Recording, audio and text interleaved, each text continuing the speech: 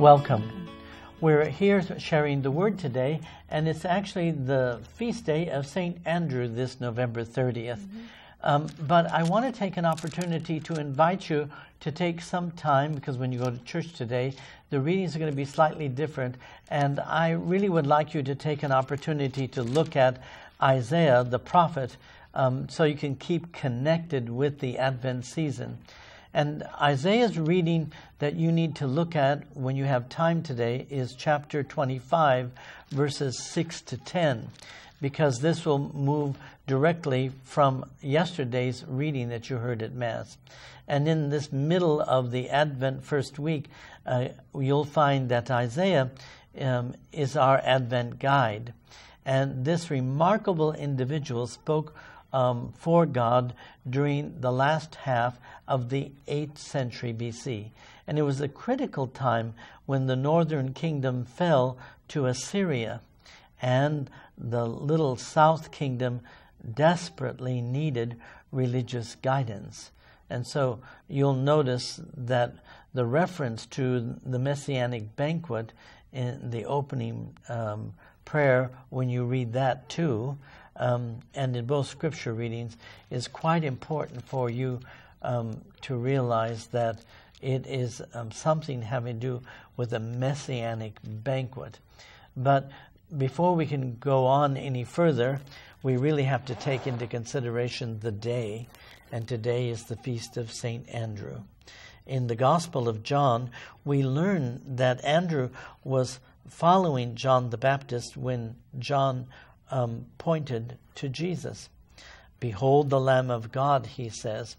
So Andrew immediately went to his brother Simon and declared, We have found the Messiah.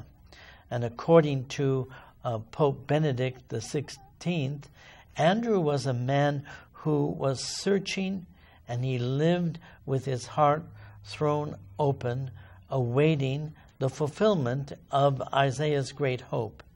After the resurrection and the great um, outpouring of the Holy Spirit at Pentecost, Andrew went to share the good news.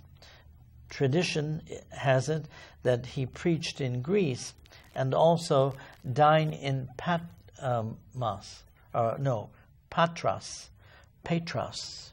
Petros. And so hmm. um, the Eastern Church honors Andrew with the title, uh, uh, which you would call first. He's called the first. And so uh, we must give thanks to the Universal Church at this time, which was the East and West together, by which then we celebrate, and still today we both celebrate the wonderful gift of the Apostle St. Andrew. And so we begin in the name of the Father and of the Son and of the Holy Spirit. Amen. We humbly implore your majesty, O Lord, that just as the blessed Apostle Andrew was for your church a preacher and pastor, so we may be for us a constant intercessor before you. We pray through our Lord Jesus Christ, your Son, who lives and reigns with you in the unity of the Holy Spirit, one God forever and ever. Amen. Amen. So today, because it's the feast of St. Andrew, we'll be looking at Matthew's Gospel, chapter 4, verses 18 to 22. As Jesus was walking by the Sea of Galilee, he saw two brothers, Simon, who was called Peter, and his brother Andrew, casting a net into the sea. They were fishermen. He said to them, Come after me, and I will make you fishers of men. At once they left their nets and followed him. He walked along from there and saw two other brothers, James, the son of Zebedee, and his brother John. They were in a boat with their father Zebedee mending their nets. He called them, and immediately they left their boat and their father and followed him. The Gospel of the Lord. Praise, to you, Lord, Jesus. Christ. So when Jesus called his first apostles, he started with a uh, really a quartet of Peter, James, um, Andrew, and John. And in fact, Andrew was initially the leader who introduced Peter to Jesus. And we see this uh, quartet together in other parts of the gospel. Um, however, for some reactive, Andrew was no longer included in the privileged group.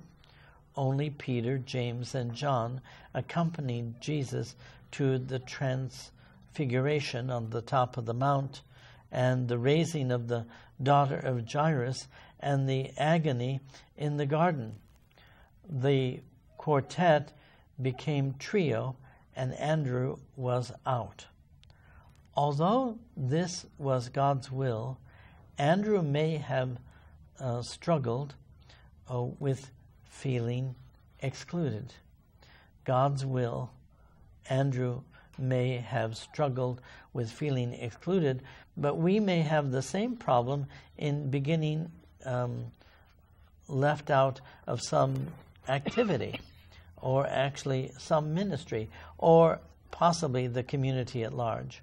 Or if this is God's will, we are tempted to feel jealous, uh, resentful, or even unforgiving, forgiving.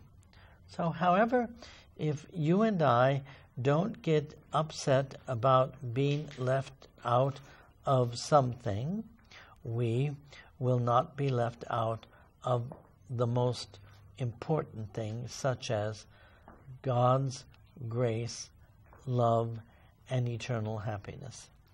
That's what we all look for um, in this kingdom that God Himself has given us, um, that has as its leader the person of Jesus Christ. And so um, we can't find ourselves or see ourselves as the odd man out.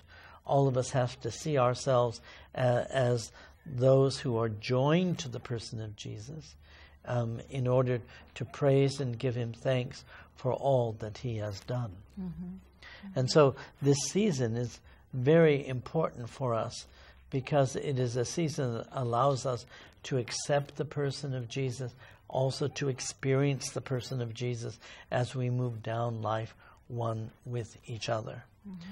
So um, the gospel is urging us in Matthew um, to really look to the reality that Jesus was um, calling, and he calls you just like he called uh, Peter, James, and John. Mm-hmm. We just have to keep our ears open and begin to listen.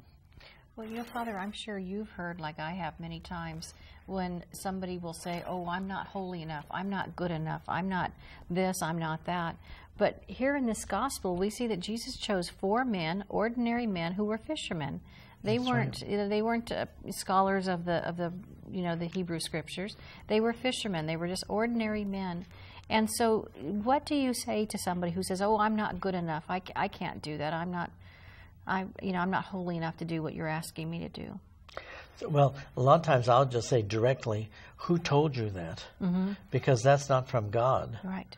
And so sometimes you have to clarify for people who are listening that what really is of God and what isn't of God. Mm-hmm.